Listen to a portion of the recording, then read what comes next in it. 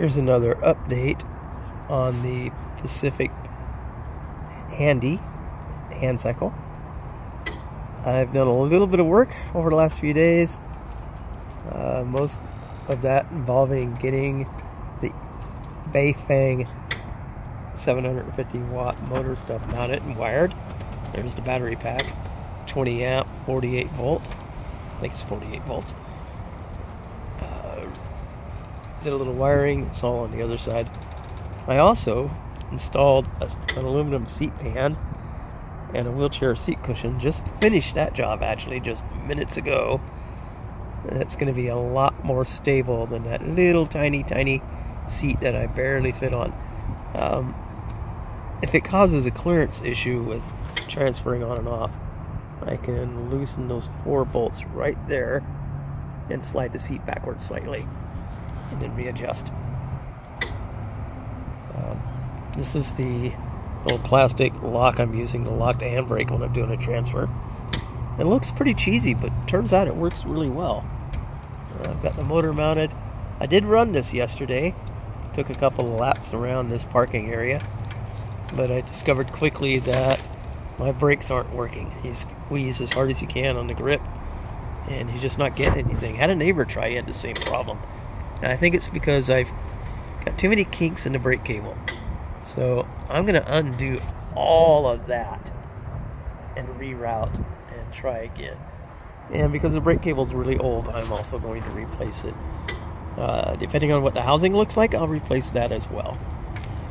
Uh, I had to go with a 42 inch chain ring. Didn't have any choice. Sorry about the quality it is here. But the sun's getting ready to go down. Uh, I needed more offset than I could get otherwise. I found this chain ring with an 18.5 millimeter offset. And that really did a number on getting that chain to line up with the sprocket down there on the drive hub. I think that may be off a little, but I'm not going to sweat it. That is so close. I don't think I'm going to get it any closer. I uh, I wasn't happy with the tolerances. They were a little snug on this. I had a heck of a time getting all five of the bolts in and mounted. It, I did get it, but it was a lot of effort. Uh, seems plenty strong though, and I see that it works. I installed two new chains. This is two chains together. I uh, took a couple of tries to get the right number of links. I was a little long on the first try, so I took two links out, and then use this. Let's see if I can get a shot of it. I can't even see my own. There we go. That's a uh, chain tensioner, basically. Loosen a set bolt there, and you can put pull it forward or push it forward, pull it back. Anyway, it goes in and out. So I loosened it so it had no effect on the chain put the chain back together and then tapped it into place and tightened the set screw down the set bolt. And that's given me what I think is reasonable tension on the chain. Got a little bit of slack. And maybe the chain will stretch a bit and uh, make a change there.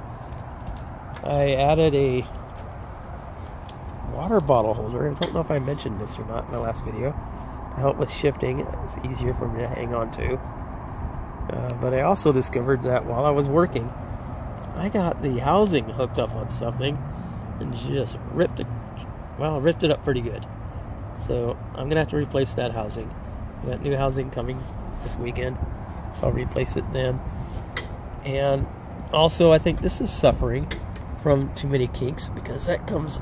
Well, let's see if I can get it back around here. I know the sun shining into the lens isn't helping any. So I've got it coming in here, and then all these other Bafang cables are wrapped around it, and it's got nowhere to go. I mean, both of these cables are just really snugged up against the motor. They're snugged up really heavily right down here. There we go, right down there. They're snugged up pretty bad.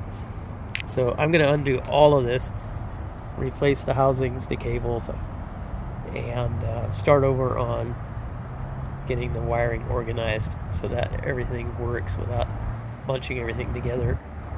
I'm still going to get stuck with two cables on this side. I don't have any way around that. I've got to have the brake sensor cable and the throttle, which I would rather have on the other side, but there's just no room to put the throttle on the other side. So overall, I'd say we've got quite a success going. Uh, like I said, I did ride it. It does work.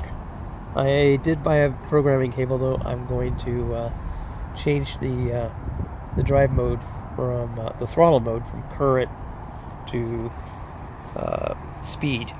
I think it'll work better because right now when you start pedaling, this thing immediately leaps to 10 miles an hour when you've got it in assist mode 1.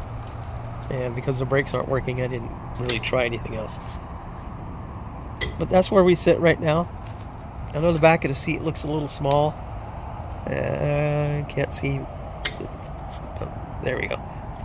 The back seat looks a little small, and it is a little small. But it doesn't bother me. I'm not concerned with it. It gives support. I'm not going to fall out of it. And I do have my seatbelt, which I have been using. So yeah, I think overall we're doing all right.